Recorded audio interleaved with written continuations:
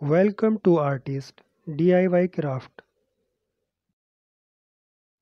Today we are present with a new art.